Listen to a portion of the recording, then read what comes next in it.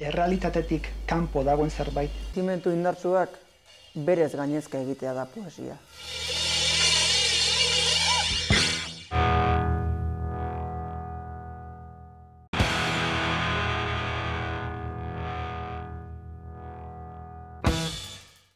Ekarri alduzu okela. Bai, ekarri dut okela. Jesus neska, haze erantzuna. Zer nahi duzu, aspertuta nago okelaren kontuarekin. Aspertuta zergatik? Baldak izu zenbat aldiz esan didazun. Oiane, erosi okela, euskal okela ados, eta nik bai, erosiko dut. Handik bost minutura berriro. Oiane, erosi okela, baina euskal okela ados, eta nik bai, erosiko dut. Handik bost minutura berriro. Oiane, erosi okela ados, eta horrela goiz guztia. Amaik aldiz esan didazu? Buruko mina eta guzti egin zait. Baina erosi duzu euskal okela, ezta?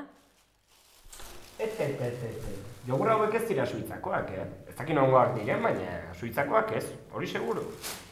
Kito, gaurtik aurrera zuek egingo dituzu erosketak.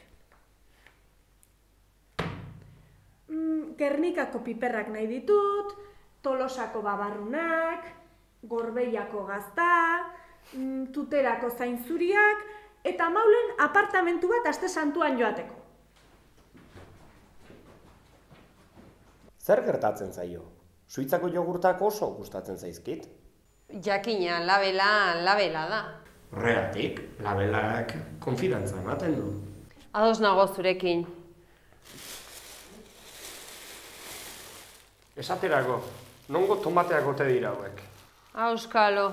Oraintxe esan duzu egia galanta, auskalo, nola fidatu? Aizu jane, nongo tomateak dira hauek? Ah, tomate horiek nire amonaren baserrikoak dira. Bueno, hau dena jaso beharko dugu. Bai, bai, az gaitezen.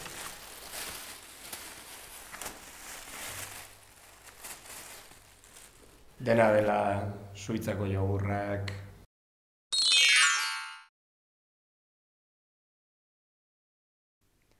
Orain, pantailan, munduko jantzi tipiko zenbaiten argazkiak agertuko dira banan-banan. Argazki bakoitzak, lau bat segundo iraungo ditu pantailan. Tarte horretan, nongo jantzi tipikoa den esan behar duzue ozenki.